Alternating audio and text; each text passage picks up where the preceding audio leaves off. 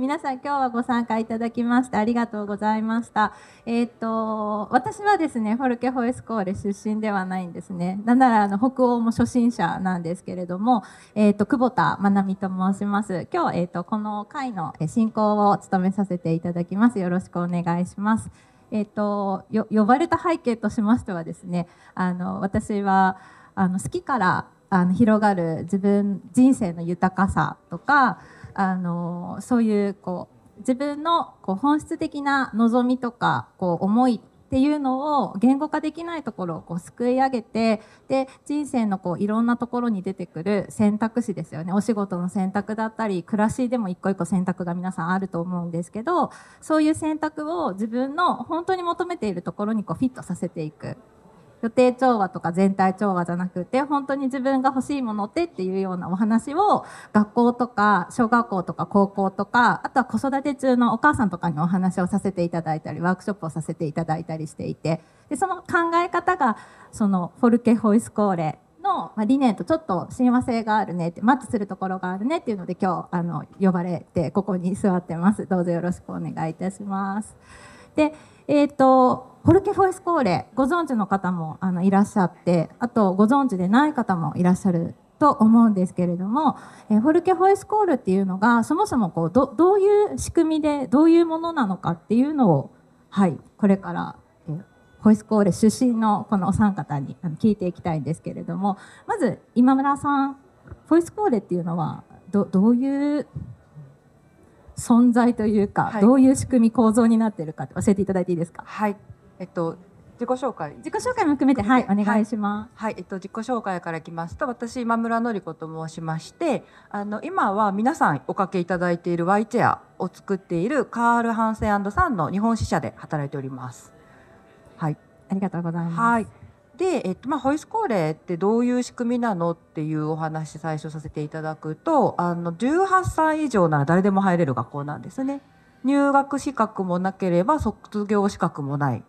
のであの何かを学びたいちょっと時間を誰かと過ごしたいっていう時に皆さん入れるような学校なんですがあの日本っていうと中学高校大学専門学校みたいなカテゴリーにを考えると思うんですけどそれとも全然違う学校なんです。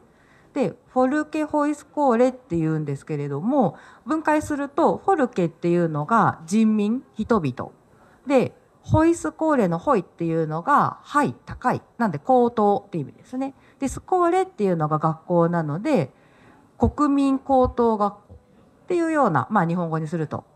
役になりまして、全部でまあ80ぐらい、70、80ぐらい学校があって、いろんな選択科目、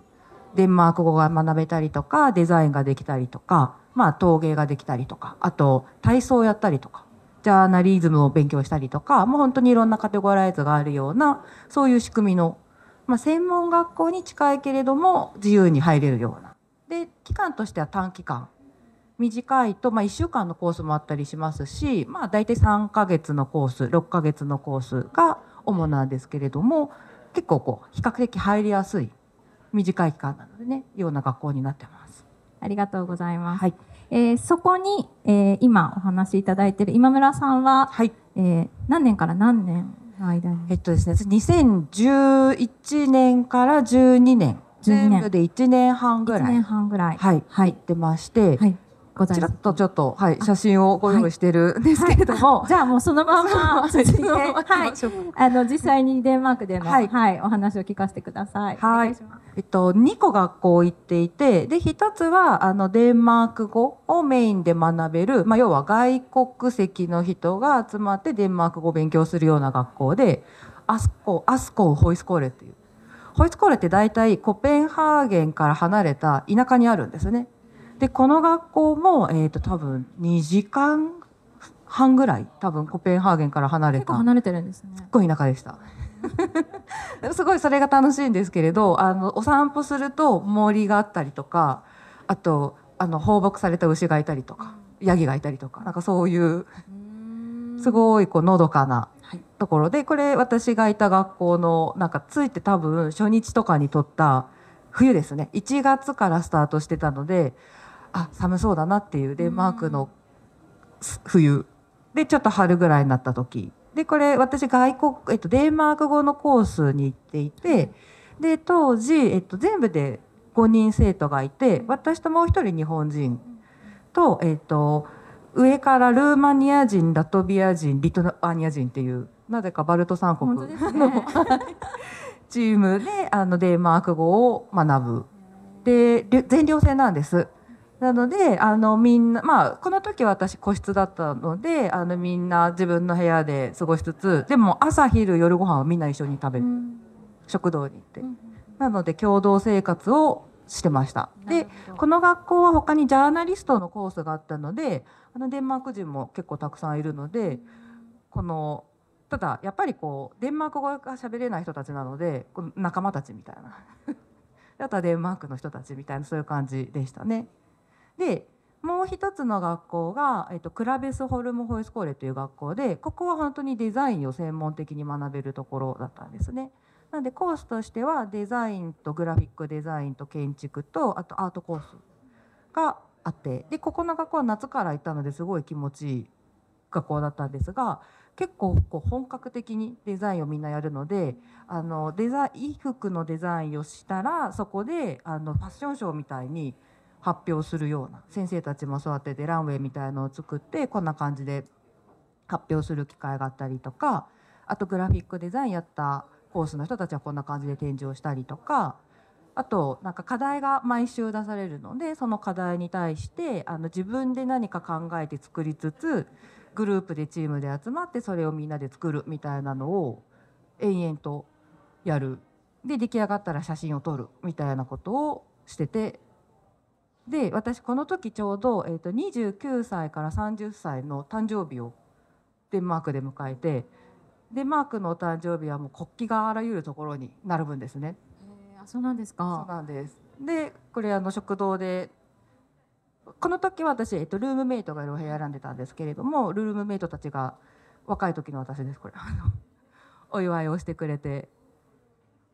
で、これあとパーティーですね。デンマークといえばパーティーだったりするんですけれど、こんな感じで、あの、もう共同で生活しながら、とにかく、あの暮らしを楽しむ。ただ、日中は、あの、やりたいことを勉強するみたいな。っていうホイスコーレ生活してました。はい、そその期間で、えー、ともう一回整理すると、はい学ばれたのははい。ななどの分野を？主にやってたのはデンマーク語を最初勉強はい半年する、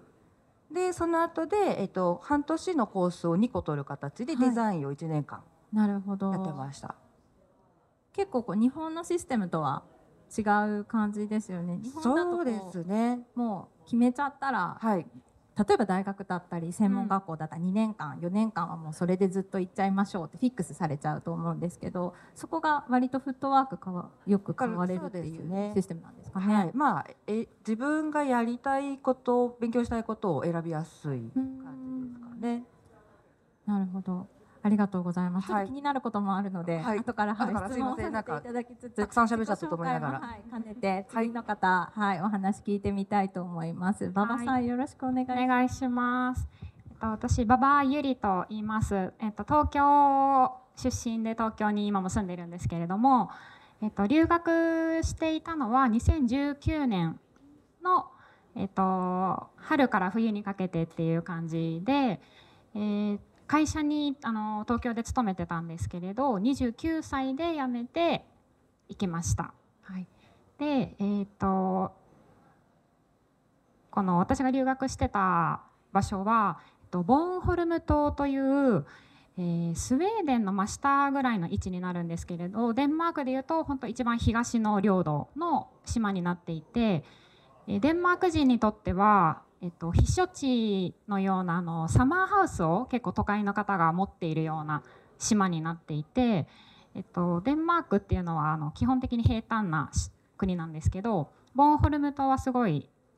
あの上下がアップダウンがあってちゃんと坂と坂と下りがあって崖があるようなあの起伏が結構激しい島になってます。はい、でこれと写真の方に行くんですが、えーあで私が留学してたボンホルムホイスコーレは、えー手工芸があの専門で学べる学校になっていて陶芸コースガラスコースジュエリーメイキングコースアートコースの4つから2つ選べるよっていうので私はジュエリーメイキングとアートを2つを取っていました。はい、でこれえっと映ってますかね、まあ、島の色味が島があるんですね。はい、あの雲がこうあってビーチがあの島の広さとしては淡路島と同じぐらいと言われていて、まあ本当に海に囲まれているのでいろんな、まあ、ビーチがあって、まあ、ビーチにもそれぞれ雰囲気が違ってこうみんなで休みの日はドライブしに行ったりとかしていました。でこれが学校のすぐ裏の、えーと、崖山。でこんなところをまあ朝早起きして一人で散歩してみたりとか。でこの辺りに牛牛牛がいるみたいな。はい。飼われてる牛ですね。でバッファローがいるっていう島なんですよ。野生の。ちょっと私は会えなかったんですけど。はい。まあ、自然豊かなとこですね。でこれは私が5月頃かな行った時の菜の花畑のバーっていうすごい綺麗な写真になってますね、まあ、本当に空が広くて、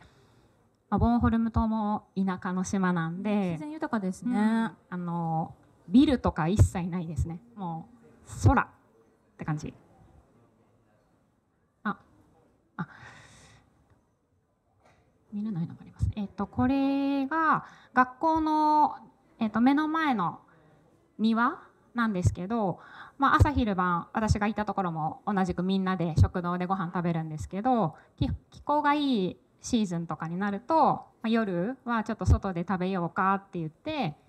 椅子運んできてテーブル運んできて外でちょっとキャンドルとか灯しながら食べたりしていました。あなんか後のやつがいない。綺麗にちょっと映らない感じです、ね、うん、ちょっとデータが、はい。でえっと私の今の話、はい、はい、活動も教えてください、はい、えっとでジュエリーメイキングを習ってきて帰国後は2021年から、えっと、ヴィンテージのデンマークのグラスの輸入の販売のオンラインショップをココというお店でしていて今そこで入り口の方で一部グラスたち置かせていただいてるんですけどそれと同時にあのそのホイスコーレで習ってきたジュエリーメイキングをそのまま帰国しても続けたいと思ったのであの自分でブランドを立ち上げてで去年の冬にあの東京の方で一応コレクションとしてデビューしてあの今年はちょっと都内の方なんですけど百貨店とかであのポップアップをさせていただけるはい、ように今動いているところです、ね、今日お召しになってるのはご自身のブランドですか？で、ねはい、あと今日だけの限定になっちゃうんですけど、あそこにも一部並べているので、ぜひあの後で手に取ってみてください。よかったら目に取ってみてください。はい、はい、ありがとうございます。写真がいけそうです。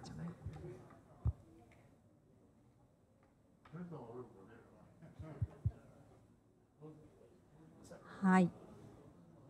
そしたら、えー、次ですね。山崎さんにお話伺ってみたいと思います。お願いします。こんにちは。山崎花と申します。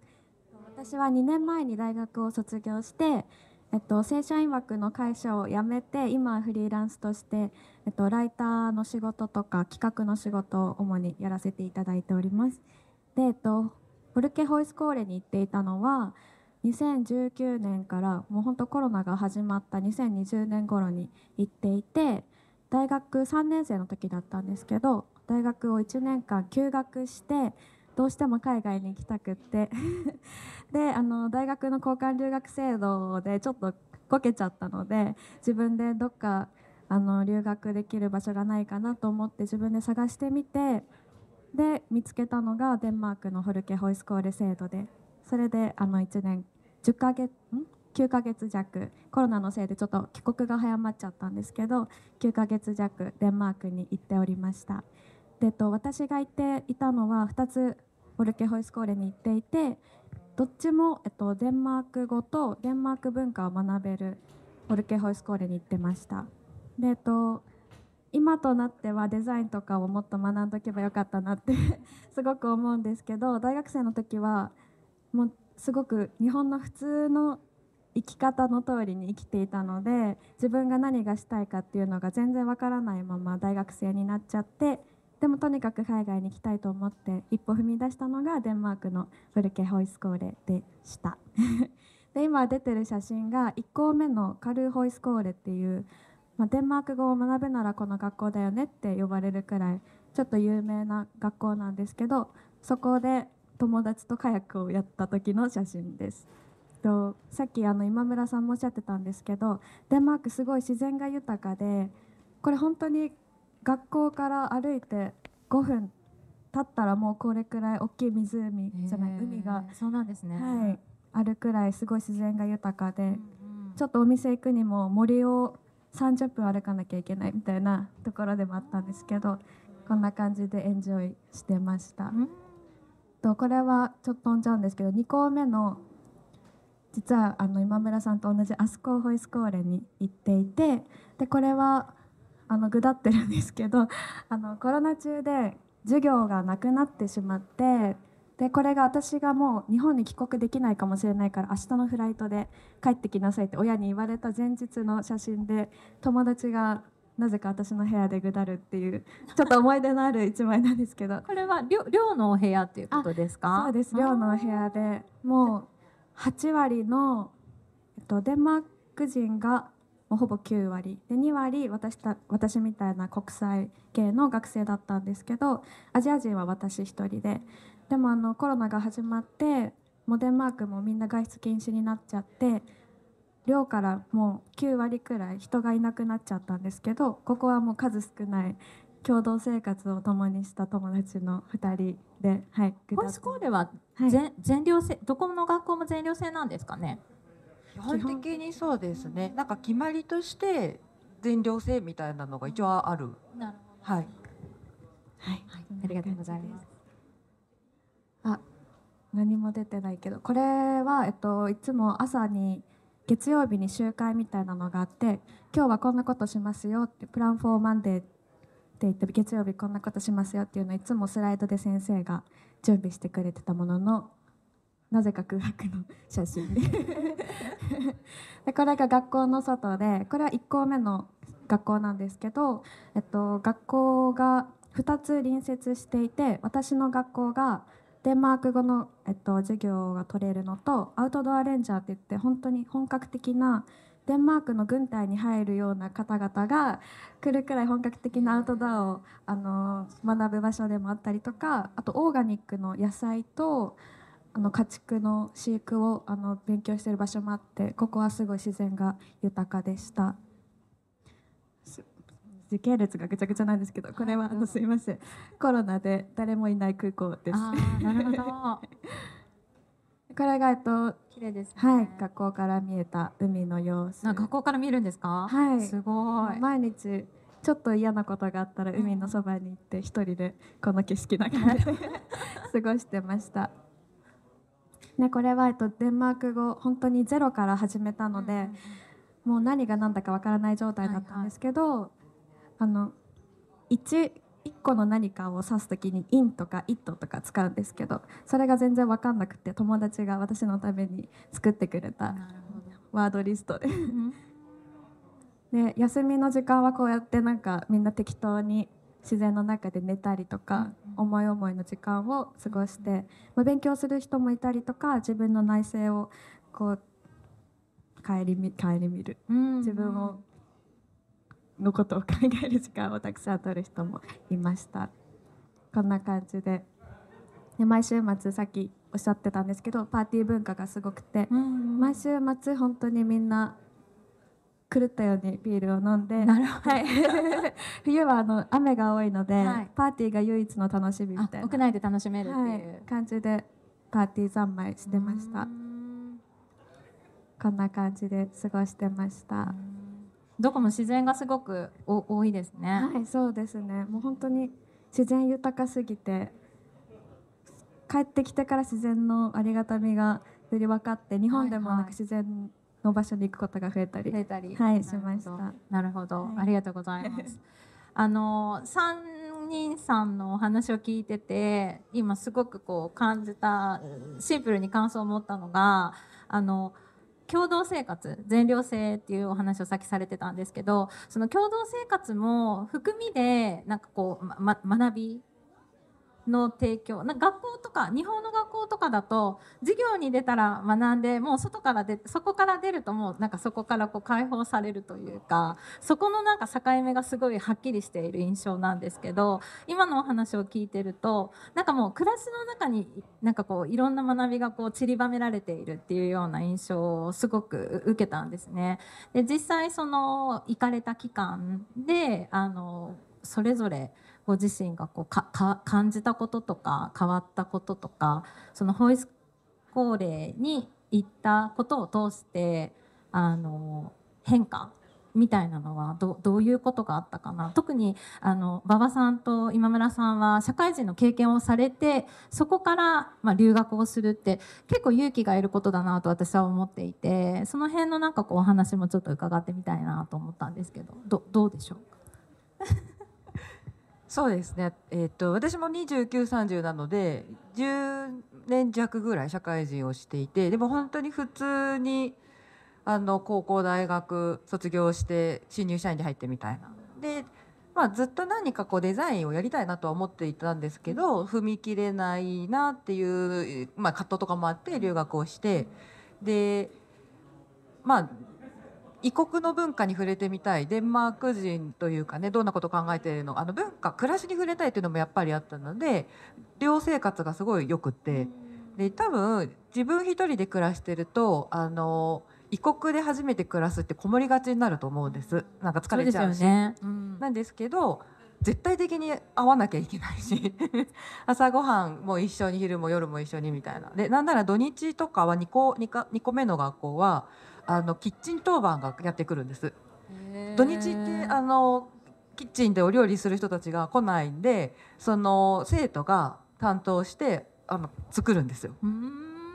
で先生が担当の人がいて担当の生徒が一緒に作ってみんなに配膳してみたいなのをするので。先生も同じ寮の中で生活される。先生も、えっと、生活してる人もいるし外から来る人もいるんですけど、ね、ただ、えっと、平日は必ずいるんです、一緒にだから生活してる。はい。はいはいで土日も過ごす人と過ごさない人がそれぞれなんですけど、だからあの彼らが何を考えどういう行動をするっていうのがすごい分かりました。そうですよね。そうそれがあまあ、暮らしてるからこそ分かる。はいはいはい、であ日本の人ってすごいちゃんとしてるなって 思うところとあの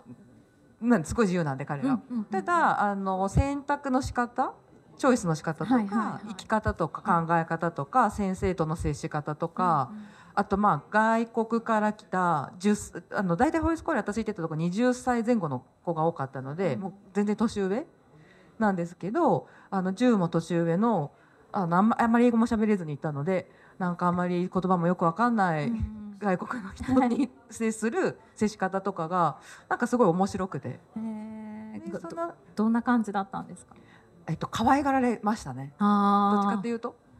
なるほど。でも何にもわかんない人みたいなので、すごいこういい意味で優しく、楽しく暮らしてました。なるほど。馬場さんどうですか？面倒見がいい人が多い気がします。なんかすごい過剰にはこうわーって来ないんですけど、なんか困ってそうならさっとなんか手を差し伸べるみたいななんかね見守っててくれる感がなんかある気がしますね。見守るの嬉しいですね。うんうんうん、なんか手手出されるとね、うん、なんかありがとうってなると成長するタイミングがなくて、うん、なんか全然何でもかんでもやってくれるとか全くない逆にない。うんうん、なるほど。どうですか？山崎さんは？えっと私2校目の学校が、はい私だけデンマーク語が完璧に話せないっていう存在だったんですけど先生ももう9割みんなデンマーク語理解できるから、ガンガンデンマーク語で進めちゃうんですよね。でその時にあの友達が何人も毎回毎日あの手を挙げて「あ今日僕が花のために英訳します」みたいな先生が言ってることを英訳しますって言ってくれたりとかなんかそういう部分でまあ、授業とはまた違う部分でそのデンマーク人らしいって言っていいのか分かんないんですけど、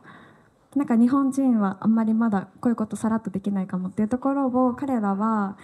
こんなに積極的にやってくれるんだっていう学び、学びというか発見はすごくありましなるほはい、能動的に頼んではないけれども、やうん。やってくれるっていはいうことがあありがたかったみたいな。そうですね。なんかもう、えっと、英訳の部分だけじゃなくて、はい。授業中でも,、もう絶対みんな手を挙げるなんか発言したかったらこう手を挙げて発言する姿勢とか、日常生活でもなんか話し合ってる時も、絶対に無言の時間がないとか。ななんか考える時間が日本人はすごく多いイはいメージなんですけど、デンマーク人はパッと決めてパッと発言するみたいなのが、そのスピード感が授業中でも日常生活でもあったなって思います。お二方どうですか？そのデンマーク人、まあ、デンマークにいた頃に触れた方たちのそのうんせ性格というか特特徴というかさっきのその瞬瞬発力というか考える時間が少ないとかそういう発見っていうのはどどういうところがあります？デンマーク人ってこんなだなみたいな。なんかあの日本って先生って先生じゃないですか。はいはい。あのななんかこう教えてもらうななんていうかちょっと平等関係ではないかなっていう気がするんです。先生が上にいて。主従とかね上下みたいな立ち位置ありますよね。ですけど多分デンマーク人な気質だと気質というか、まあ、はい。教育も含めてなんですけど、あの上下じゃないんですよ。うん並列。人の中の、えっと、ちょっと知識がある人。うんうんうん。でその人に教えてもらう私たちみたいな、うんうん。もう並列、うんうん。うん個人個人個人。うんうんただスペシャリティがここにあってそれを私たちは聞くみたいなのがうん。結構新鮮で、へなん。先生の言うことは従わなきゃ絶対みたいなそういうのは全然なくてもうすっごいカジュアルにフランクにみんな接する。けど。どただあ教えてねで教えてあげるよみたいな関係はすごい成り立ってて、うんうん。で先生も生徒たちにすごいリスペクトを持って接するので、うんうんうん。なんか一緒になって考える自分が持ってる知識は伝えるみたいな、うんうんそういうのがすごい新しく、まあ、新しい発見というか、んいいなって思いましたなるね。ほど。馬場さんありますか？そういうえっと日本人とは違うなみたいな。うんなんか、まあ、私もともとその日本では全然ものづくりっていうことを学んできたことはなくて、もう本当に初めてやりますっていう感じでそのデンマークのボーンホルムホイスコールに行ったんですけど、そこの授業をしてる先生たちはみんなそれぞれ先生じゃなくてアーティストなんですよね。それぞれ皆さんがど。自分の作品をその定期的に発表とかされてる人たちだったんで、なんかなんていうのかな。教わるんじゃなくてうん。こんそれぞれの作りたいものを認め合うみたいななんかか感じだったんですよね。だから、うん、私がその言葉とかディスカッションとかいうことじゃがメインではなくてみんなが作るものでコミュニケーション取ってたっていうか。なんていうのかなそのまた例えば私が作った作品をプレゼンしたりする会あさっきあの今村さんも言ってたんですけど作ったものをプレゼンするっていう、うんうんはい。それもやっぱりそのものっていうのを通して自分が何を感じたかっていうのをみんなが発言してくれるんですよ私が作ったものになんかこういうのが見えたとかこういうのこういう雰囲気な気がしたとか。なんかそれがなんかデンマーク人らしいというかそのちゃんとその自分の意見がその目の前のものに対してうんある、それを別にはばからずに言ういい悪いじゃなくて、はいはい。ちゃんとそれをなんか嬉しかったし新鮮でしたね。なるほど。うん対話を結構大切にされてるっていう感じなんですかね。なんかディスカッションうんのうんクラスというか時間みたいなのもあって、なんかディベートの時間みたはいなのも。週1ぐらいだったかなあったんですけど圧倒的に多いですよね日本に比べると。あそうですよねでなんかテーマが一つあって、はいはいでみんなでそれに対して意見を言うみたいな。でなんかやっぱり語学の問題ってちょっとあって、はいはい私は全くデンマーク語勉強しなくて、はいはい。学校にも授業がなかったんで、はい英語だけだったんですけど、なんか、まあ、デンマーク語での方が多分話しやすいデンマーク人も当然いて、まあ、ディベートの時ってなるとちょっとその語学の問題がちょっと出てきちゃったりするんですけど、でもやっぱりトランスレートしてくれるデンマーク人がやっぱり絶対いるので、まあ、そういう子に助けてもらいながら参加してたっていう感じです。結構じゃああれですねそのななんですか人としてすごくこうフラットに付き合えるというか、なんかそのできるできないとか優劣うんみたいなとことは全く別軸でその、うん、人としてリスペクトされてるっていうことをこうか感じられる環境、うんうんあ安心な環境で学べるのかなっていう。か言い言いたいことというかちゃんと対話がそれこそディスカッションがでできるんですよみんな。なんか割と日本って遠慮しちゃう。そうですよ言いね。たいけどなんかあでもあの人の言うことに従おうかなとか自分の意見やめようかなみたいな、あのシーンが多い気もするんですけど、えっと、い言うのが当たり前で、うんうんでも相手の言うこともきちんと受け入れるので、うんそこでディスカッションしようっていうのが当たり前なので、なんかこういいものが出来上がっていくんですよね。何かが誰かが我慢するんじゃなくていいと思うもの、いい、と思うものでそれを否定するんじゃなくて、うんじゃあそれを含めてどうする？みたいななるほど。のを、まあ、デザインの授業を通してうん一緒にやったりするとすごいそれを感じるううまいそのやり方が、あー人と違うことを恐れない。そして認めるあー素敵ですね。素晴らしい。なかなかちょっと勇気がいるシーンとかもやっぱり特にこううんお仕事とかそういう組織に属してると日本だとね難しい私なんかもできない時とかって結構あったりはするんですけどそこがなんかこう自分ができるできないは一旦横に置いておいてでも違うと思うんだっていうことを言える環境が整ってるっていうのはでそういう中でこう、まあ、1年とか半年とかっていう時間を過ごすと勝手にこうなんか思考も変わってくる感じがしますよね。なるほど。行ってな何が一番大きく変わったなって思いますか？私の中で。はい。なんか固定概念が変わりましたねあの純日本人純日本教育からの純日本の会社にいて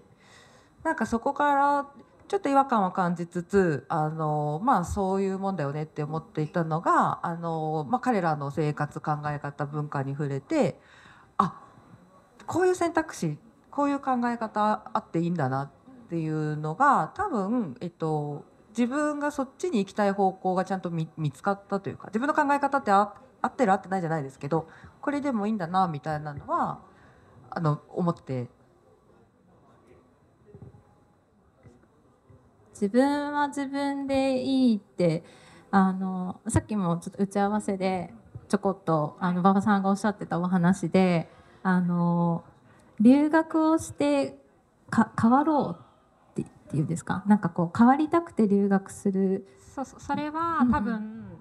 違う違う。うまくいかないというか、なんどこまで行っても自分は自分に過ぎないんだないい意味でも悪い意味でもっていうことをおっしゃってたのがすごく印象的だったんですけどその話とかも含めて聞いてみたいです。そうですね。なんかそのまあ私がいた学校はものづくりだったのでまあその自分が作りたいものを作って、それを認めてくれる人がいるしそう褒めてくれる人がいるっていうのは初めての体験だったんですけどなんか私は結構この、まあ、子供の頃から割と自由な学校で育ってまあ両親も結構ゆあのゆりゆりの好きなように選びなさいっていうようなあの家庭で育ったんですけど割とその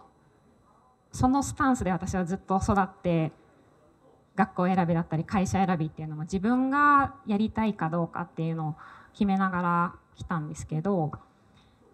なんかその何うんとなんでまあ今の自分を変えたいなって思ったことってあんまりないそんなないんです。今の自分がすごく嫌だから違う自分になりたいなみたいなそういうのは全くなないなかったんですけどなんかその場所が変わっ、まあ、国が変わってもその私っていうのがどういう人間なのかっていうのを私も分かっていてで相手に自分の意見はこういうのですっていうのを伝えられなかったらそのうーん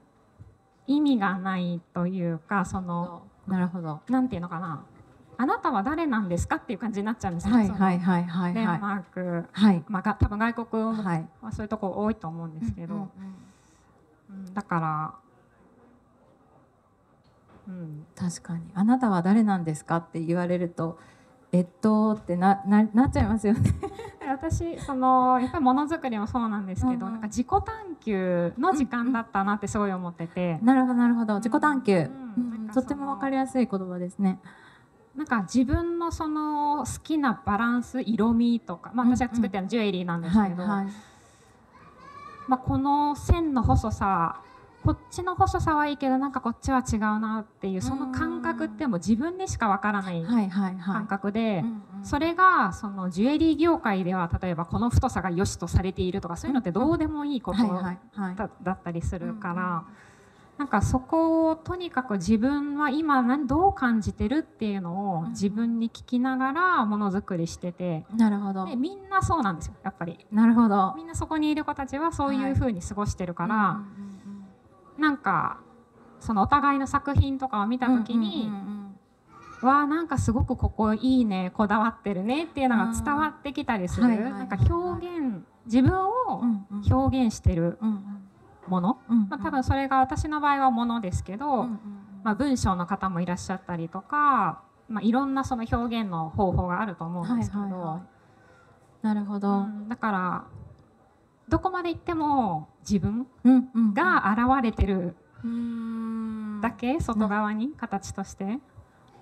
なんかあれですよね。なんかそういう意味でも対話ってすごいなんかあの大大切にしてる理由がすごい分か分かったというか今聞いてて。対話することで多分そのちょっとしたニュアンスの差っていうのをこうい違和感を感じながら自分はここが心地いい、うん。自分はこのスタイルがいいっていうところをそのホイスコーレの時間を通して、まあ、か確率、まあ、確率っていうとちょっと大げさかもしれないけれども自分をこうにより寄り添う時間というかをなんか過程を経て学びっていう過程を経てなんか身につけていくっていう場所なのかなっていう感じはすごくしました。とその私はあなたのことがどういう人だか知りたいっていう感じなんでみんな。ああなるほど。うん、だからそうなった時に自分がの意見がなかったりとかするとん？ってなっちゃうはいはいはいはいはいはい。なんか思ったことゆりはどどっちが好き？とかなった時に聞かれた時に、はいはい。うんこっちかななんなんかなどうどうどういう理由うんうんうんうん。でとか、なんかこう思うからうん。なんかそんなほんなちょっとしたことなんですけど、なるほど。うんなんかはい。本当に生徒たちのこう作品を通して、そうどういう人なのかこの人は、人を知る、うん。人となりを知るっていう。そういう時間だった気がしああます。なるほど。ありがとうございます。はなちゃんどうですか？その辺は。私はあの社会人じゃなかったので、ね学生から行かれたんですよね。確固たるこれを学びたいっていうのを持っていったというよりは、はい。もうずっと迷ってて迷ってて、うんうんう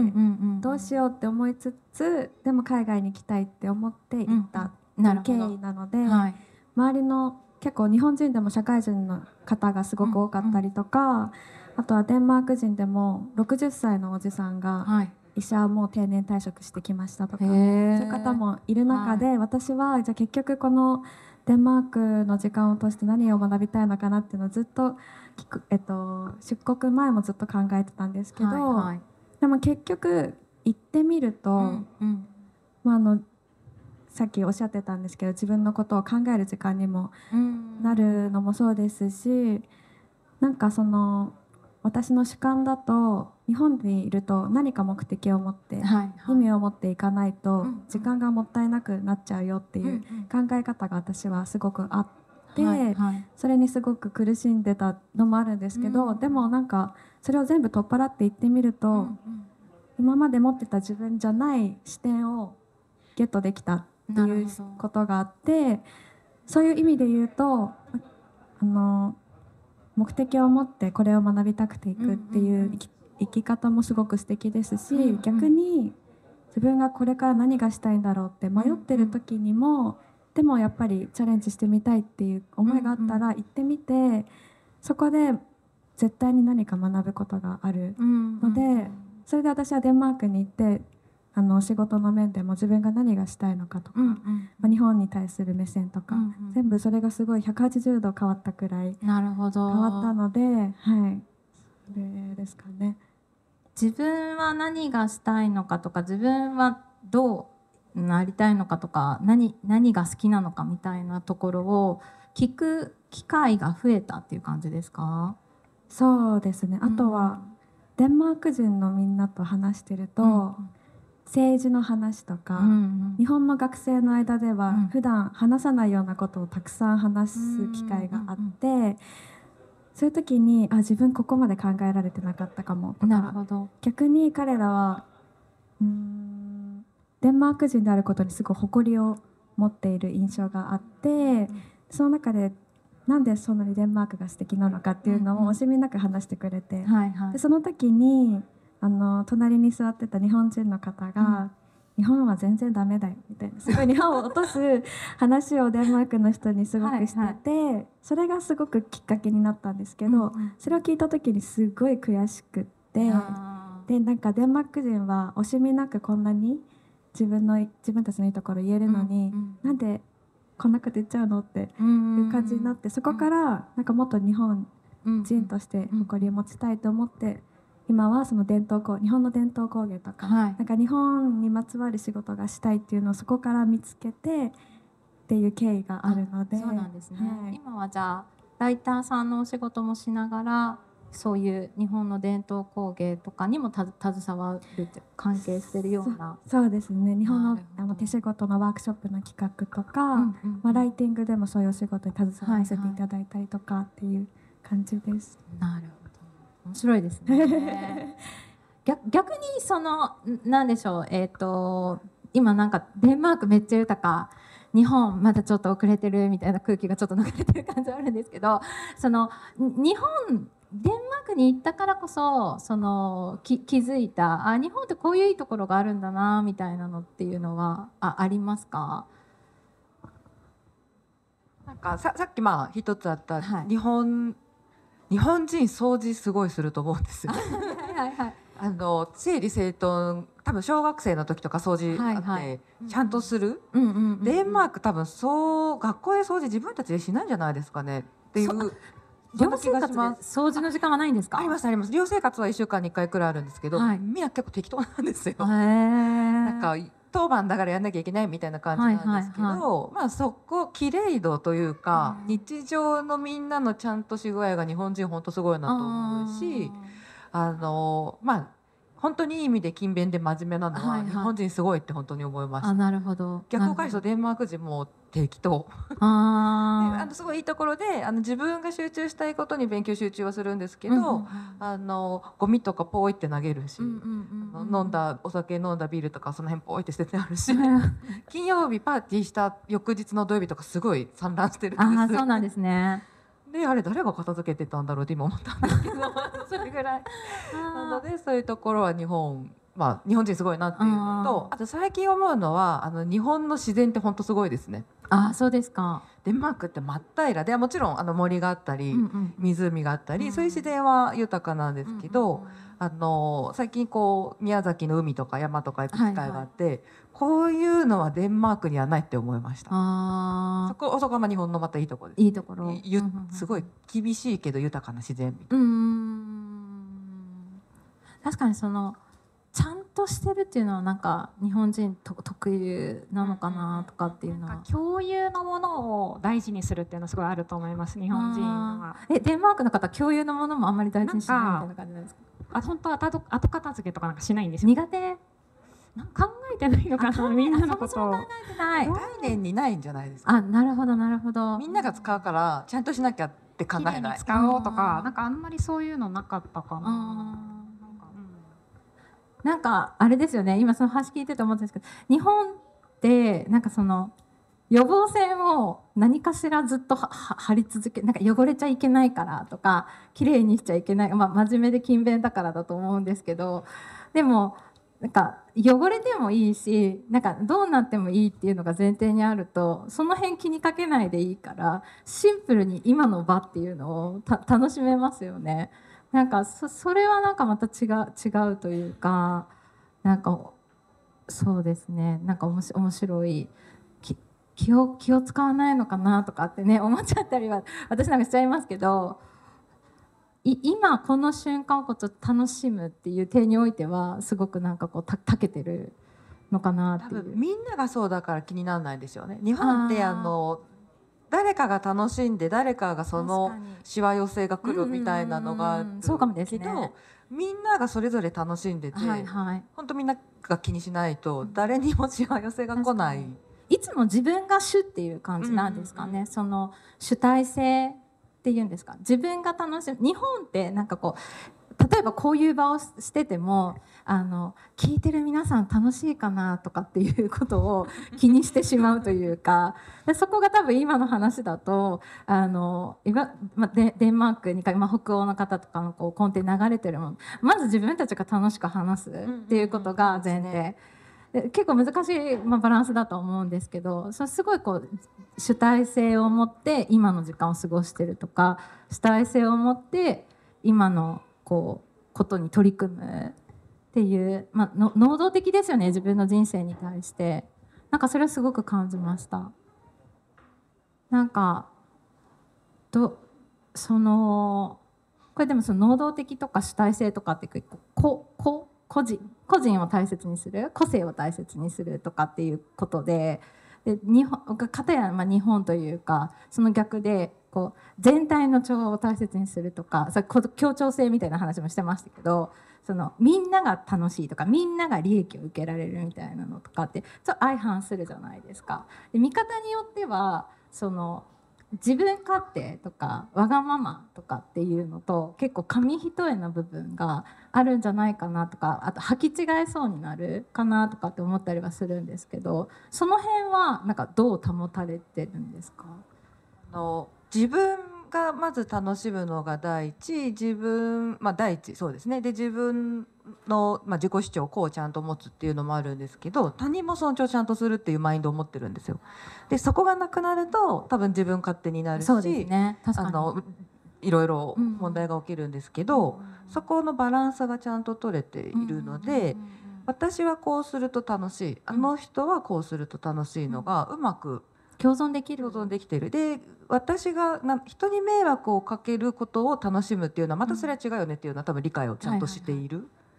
ので成り立ってるのかなって。で自分だけがいいなんか楽しいことをして相手の楽しいことを認めないってなるとよくないんですけど、それはしない。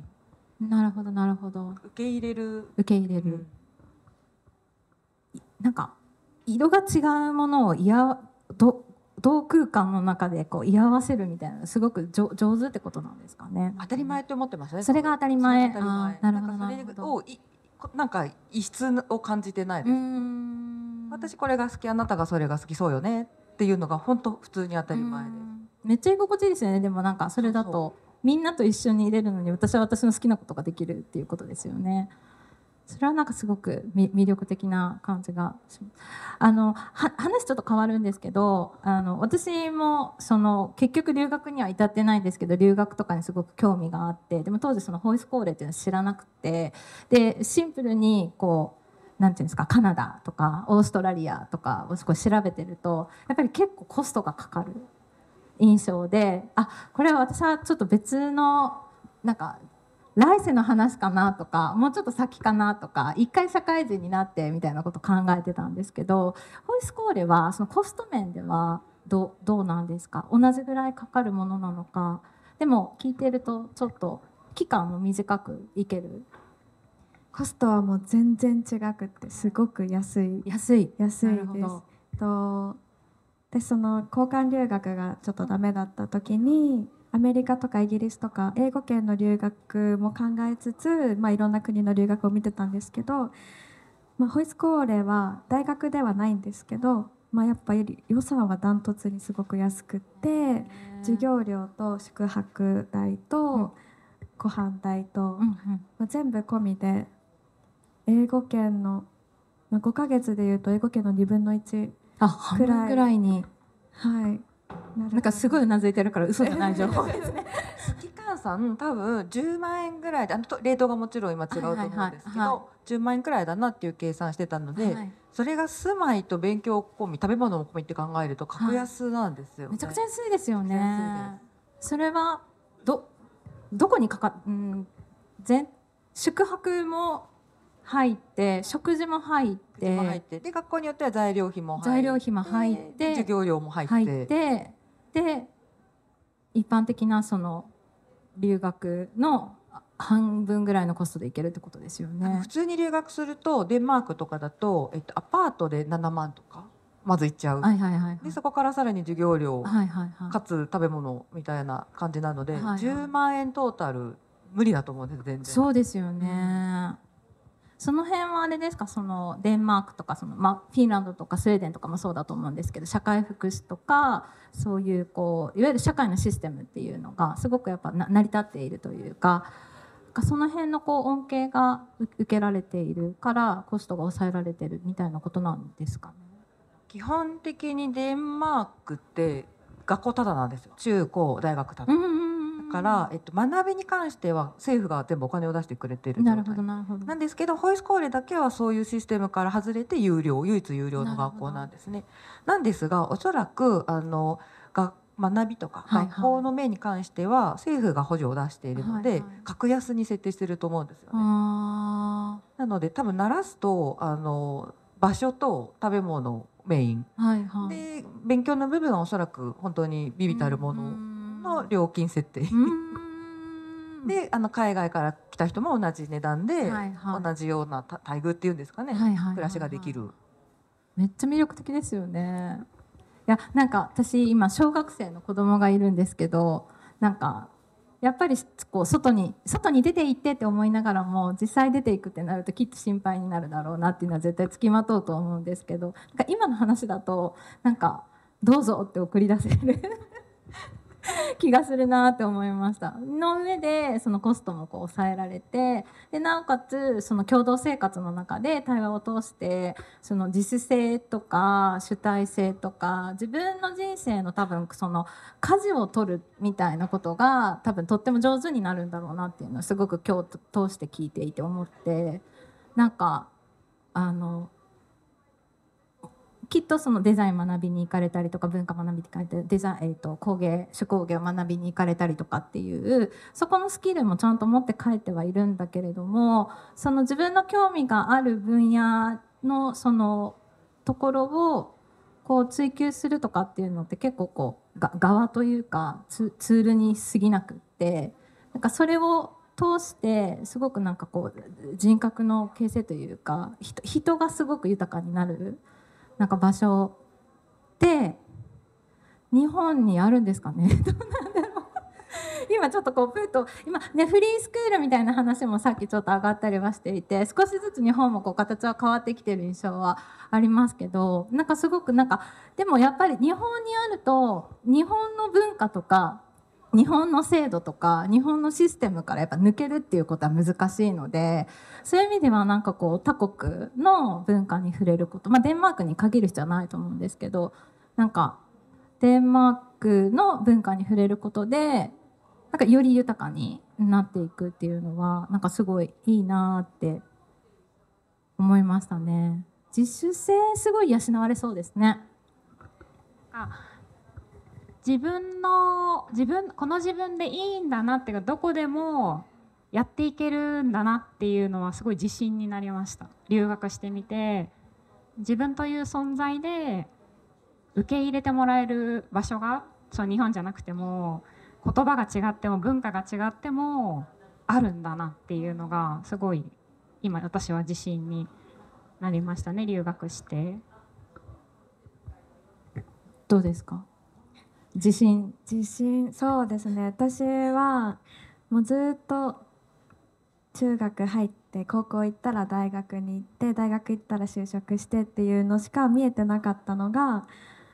あこんな例外もあったみたいな。一歩外に出たらこんなこともしていいんだとか外国日本にはない考え方を取り入れるとこんなに自由に生きることができるんだとかなんか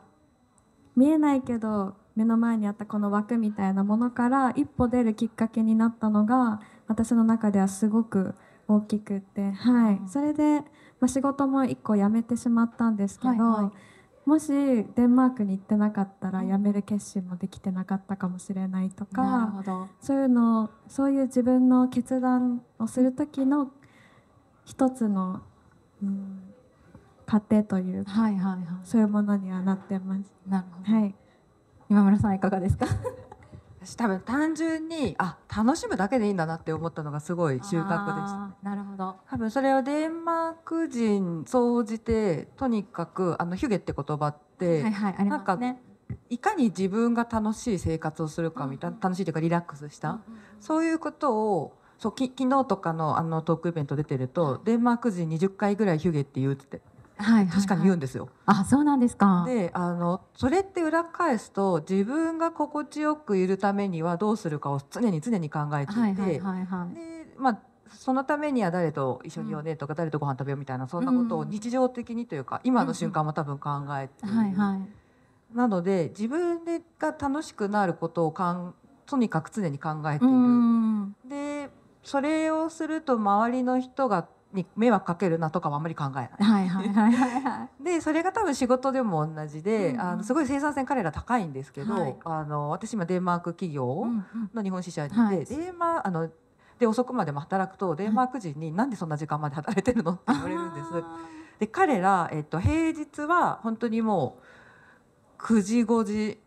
8時4時。ーはいはい。で金曜日とかは、あの午前中で帰ったりするんです。ってへいうぐえらいあの人生を楽しむはいためはいにの一部として仕事をしてるとか、そうういう考え方なので、うんうんうん。あ楽しむでいいんだなっていんう。なるほどなるほど。そこがすごい良かった。確かに。なんか今聞いててその一番最初に冒頭でねご紹介いただいた時にその幸福度が高いヒューケの話もあったと思うんですけどみたいな話をこうしててなんかちょっとふとちょっと思い出したのがあのすごい話変わるんですけどね。2023年にラグビーのワールドカップがあったじゃないですか。であれ日本負けたじゃないですか。皆さん覚えてらっしゃるか分かんないんですけどアルゼンチンかなんか最後負けたんですよね。であのその時に日本人のキャプテンとかもいろんな日本人の選手がこんなにみんなに応援してもらってこんなになんかこう皆さんこうしてもらったのにこう負けて申し訳なかったですってもすっごい号泣でもうすいませんっていやそんなに謝らなくてもいいのに私画面越しに思うぐらい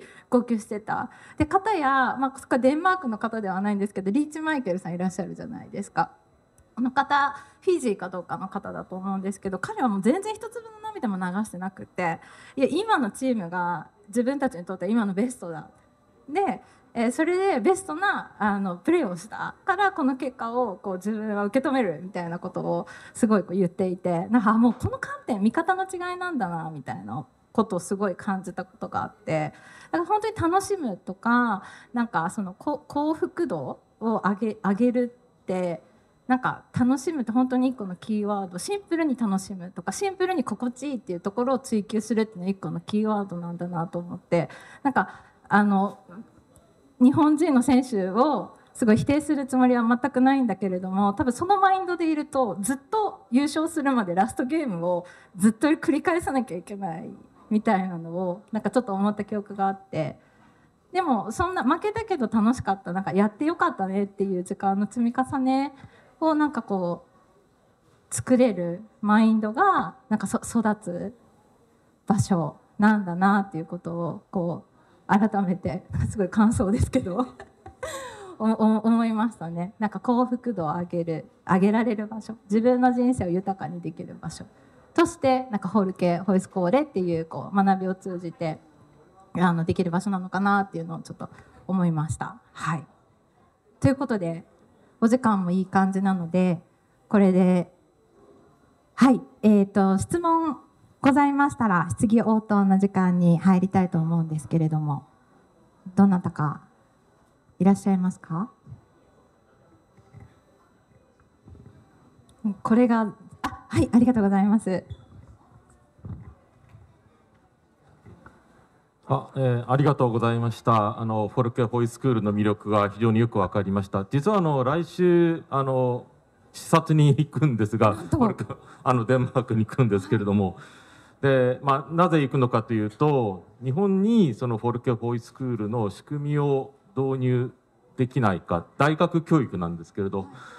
で、まあ、日本にもあの自治体にいくつかフォルケホイスクールあってですね、まあ、その学び直しということで取り組みが進んでるんですが今あの日本ではリカレント教育というのがテーマになっているのででリカレント教育の先進国であるデンマークに、まあ、視察に行くと行ってこいというかですね行って調べてこいということになったのででそれであのあまあ、皆さん方はあの、まあ、留学された側なんですけれども日本国内でフォルケホイスクールの仕組みをもし作っていくとするならばどういう、まあ、可能性があるのかとかどういうところに気をつけたらいいのかとか、まあ、あのもし日本で同じような、まあ、仕組みに参加しようとした場合にどうあってほしいのかということも含めてちょっともしご意見があれば教えていただきたいと思います。なんともなんかすごいですね。なんか素晴らしいですね。こんなタイムリーなことがあるんですね。すねはい、あの生の声を届けて。えー、なんでしょうなんかとにとにかくその自分の考えを書いたり言ったりする機会みたいのを増やすことかなと思っていてその与えられたカリキュラムをこなすみたいなのだと多分結局上から下にこう降りてくるだけになっちゃうと思うんで意見交換とか自分がどう思ってるかっていうのを言う話す機会をたくさん作ることかなっていう思います。学びに行くんじゃなくて何でしょう自分を知りに行く？でそれがその社会につながって社会のためになっていったりする。社会の人たちとつながってるっていうふうに多分そういう人間になっていくんじゃないかなと私は思ってるので、うん、まずは自分を知りに行く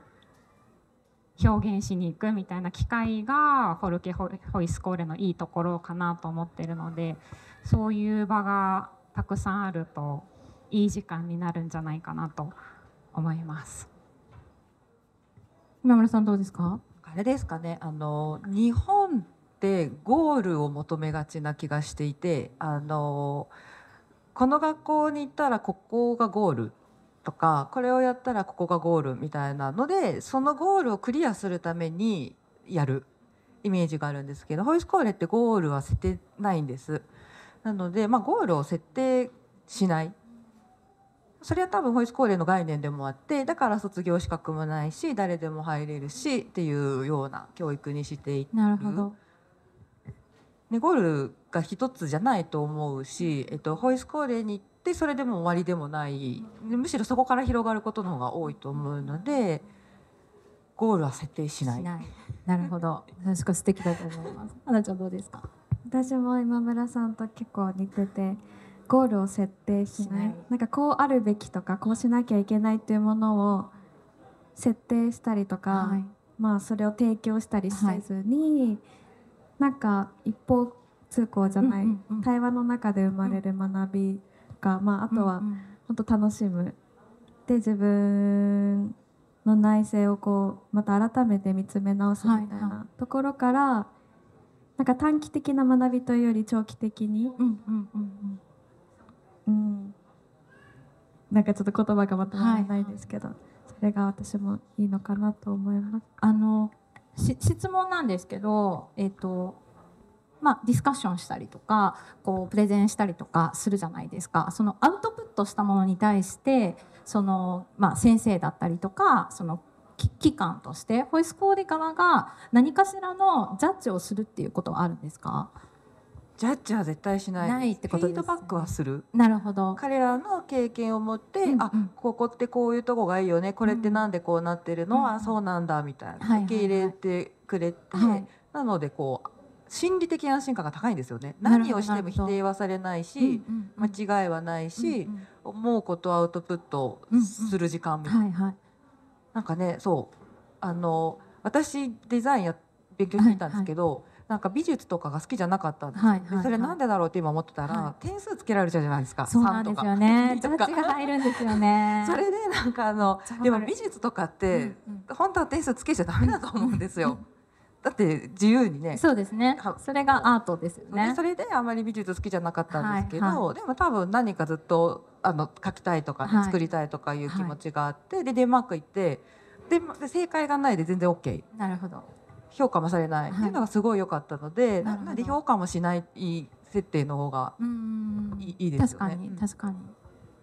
はい。いやなんか今ちょっとお話聞いてて、あの冒頭で私ちょっと高校に行っているっていうので、2022年から自己探求の授業っていうのが高校で導入されるようになって、まあその時間に私ちょっとお邪魔させていただいてるんですけど、で自分は何を感じてどういうことをやりたいと思ってっていう本当にこう内観を進めていくっていう期待を鍛えましょうみたいな話をしてるんですけどやっぱり先生方とかその教教育機関としてはそれをしてどういう効果が出たのかっていうジャッジの基準準がないからなんかどうしてもなんかその評評価基準が欲しいんですよねこれで合ってんのか分かんないままそのプログラムだけをずっと子どもたちに提供していけるいき続けるのはちょっと難しいみたいなことを言ってたんですけどでもやっぱりジャッジはないのがいいってことですね。ゴールを設定しない。それもあと多分ホイスコーレの先生ってあの学校の先生よりあのなんていうんですかねどう進めるかってすごい考えてる気がしていてあ、まあ、日本の先生とかと比べるとゴールがないんでけどあのある程度まとめなきゃいけない着地はしなきゃいけないっていう中でね。今思うと多分すすごいがん頑張ってくれてたんですよだな。ねそれはそれですごくこ高度な、ううんん、プログラムの組み方なんだろうなっていうのはすごくなんか思います。なんかございますか？ありがとうございます。あのテストもない論文も書かなくてよい大学あそうですね。はい。魅力的な大学かもしれない。他に何か質問ございますか？あ、どうぞ。えっ、と今日はありがとうございました。えっ、とですね、ちょっと学校っていうよりは、えっ、と私はその今子育てをしてまして、子供が3歳5歳なんですね。はいで私も結構海外とか行って海外住んでた経験とかあるので、今ちょっと日本に住んでいて疑問に思うことがまあ多々ありまして、はい。これから子供たちをどういうふうに、こうあ子どもたちとどう向き合っていけばいいのかなっていうところに、まあ、すごいフォーカスをしていてあの北欧もすごく興味があるあの教育がまあすごく興味があったので、今日こういうお話があってぜひ聞きたいなと思ったんですけども、あの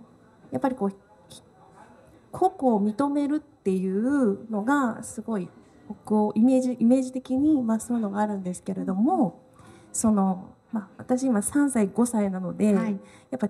ちち日本だとその走り回ったらとかなんかその子供目線で見るっていうよりはやっぱり調和であったりとか迷惑かけないみたいなところが結構日本文化としてあるので、どうしてもこう認めるっていう前にダメとかここなんかまあ他人を出がちですね。そうっていうのがやっぱすごい出る。はいはい。で意識しててもやっぱりうん。気にしてしまうみたいなところがあってやっぱそういうのがあるとなんかこう認めるっていうのがあ後になってしまうというか、うんうん。なんかやっぱひ人がどう見るかによって、子供が決めたこともいやちょっとこれはみたいなっていうのが多分日本ってありがちだと思うんですけれども、なんかその北欧とかってちっちゃい時から、そのまあその認めるっていうことをまあやってると思うんですけど、はい。まあ、公共の場とかはい。っていう部分で、はい。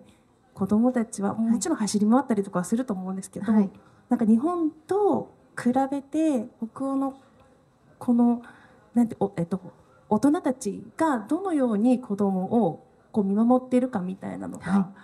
ちょっと知れたら自分のこれからのあの子育てにはい。ちょっと役立てたいなと思ってるんですけど、はい。何か気づいたことがあれば教えていただけたはい。らと思います。ありがとうございます。あのちょうど森の幼稚園に見学に行ったことがあるという彼女に、はい、お話を聞いてみたいと思います。森の幼稚園の説明もわか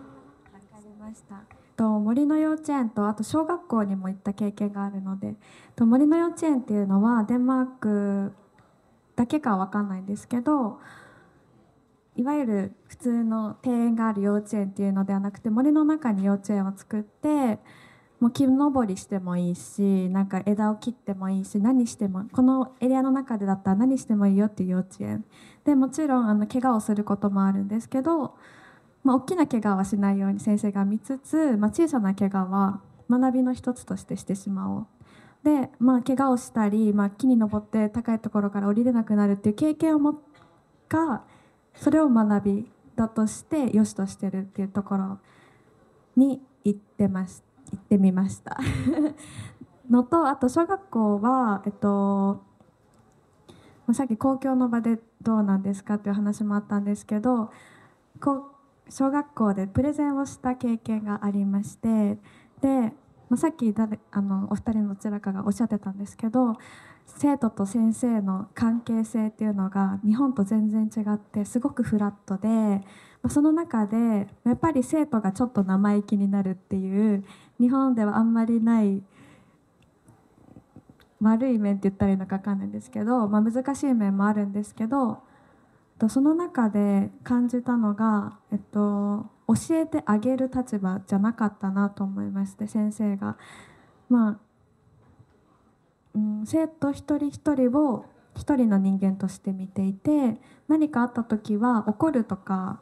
指導するっていう考え方よりも対話を中心中心にしてなんでこうなったのかその裏になんでなんでこの理由で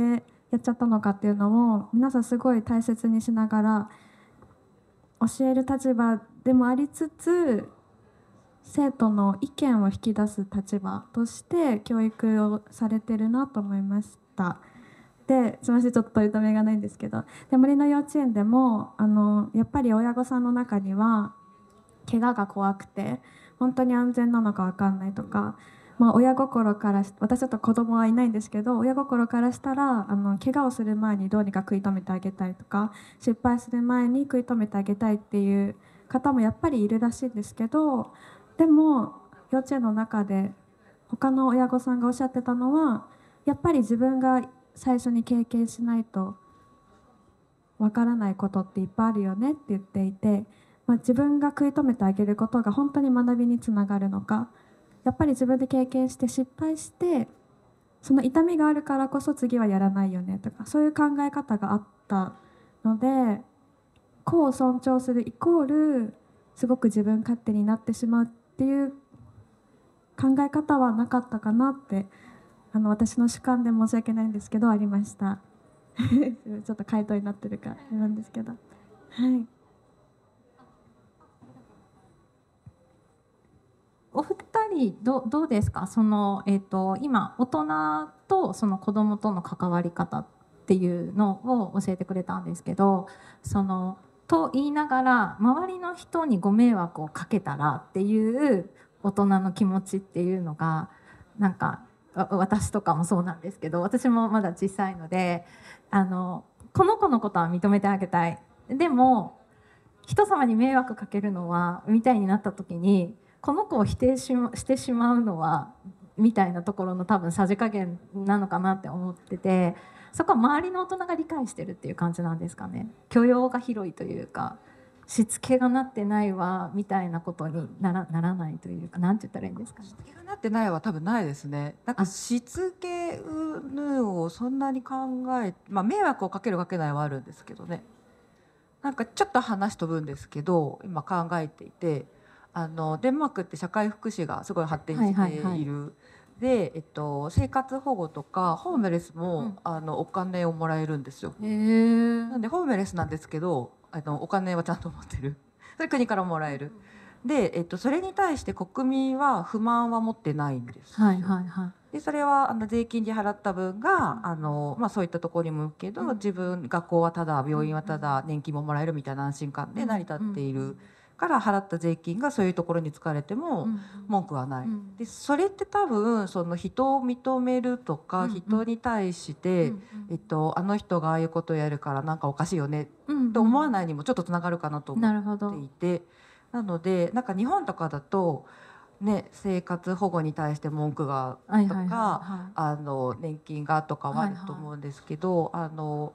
自分がやることは自分がやること、い。うんうん人の生き方は人の生き方みたいなのが、あの別にちゃんと慣れているなるほど。から人がこうやるから自分が迷惑を受けるみたいなマインドが割と少ない気がします。じゃあまあそういう行動を取った子どもに対しても割と理解があるので親もある程度寛容でいられる環境が整ってるみたいな子ことですか、ね、供はそういうもんよねみたいな感じはすごいあります。なるほどた。そう。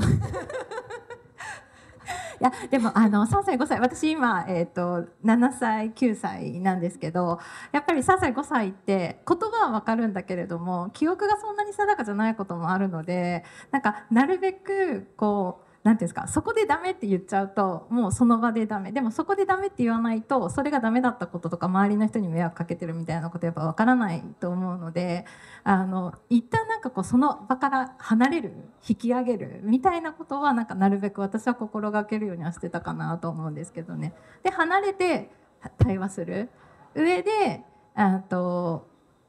認めるとかっていうなんかこうか環境ちょっとスイッチを変えてあげるみたいな場所を変えるみたいなことはややってました。なかなか日本だとちょっとバランス難しいと思います。すごくなんかすごく共感します。今でもなんかチッとか思うこといっぱいあるのでありがとうございます。他にご質問ございますか？大丈夫そうでしょうか？はい。ではこの辺でよろしいですか？じゃあ今日の、はい、トークセッションこの語りであの終了したいと思います。ご参加いただいた方皆様最後までどうもありがとうございました。